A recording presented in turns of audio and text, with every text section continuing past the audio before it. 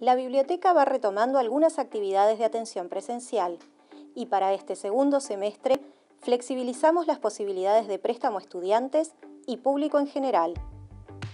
Previamente verifica en la web de Biur que el libro esté disponible y trae anotada su ubicación física.